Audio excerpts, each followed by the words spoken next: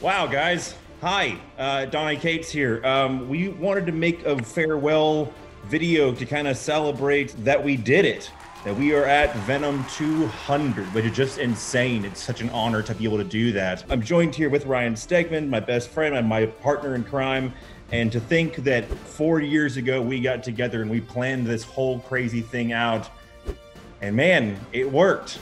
Yeah, this is the this is definitely the longest I've ever been on a series. Which, when I started it out, I would have never thought that you know we, we'd be here four years, five years, whatever it is later. To think about when we started on this book, that Venom was still kind of in Spider-Man's shadow, and that over the course of like three, almost four years now, there's been two, two line-wide Marvel events centered around Eddie Brock.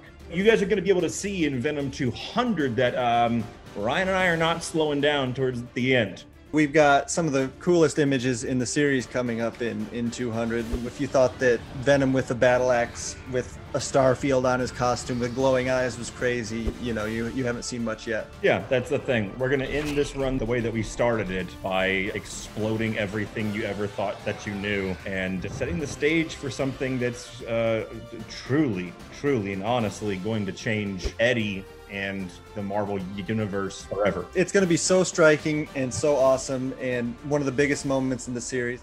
You are not ready for Venom 200 and what comes after it. We don't envy the person that has to write Venom after we're done with it, and we also can't fathom what they could possibly do once our run is done. The world of the Venom has a very bright future. And I, for one, am so happy and so honored to have played even a, a small role um, in the history of my favorite character in the entire world.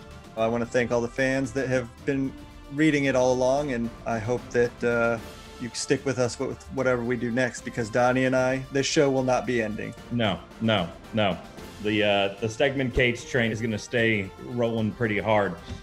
To everybody out there, to the Marvel staff, but especially to you guys, to the fans, you have truly changed our life, um, and we will never forget this experience.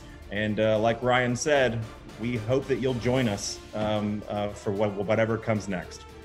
Mwah.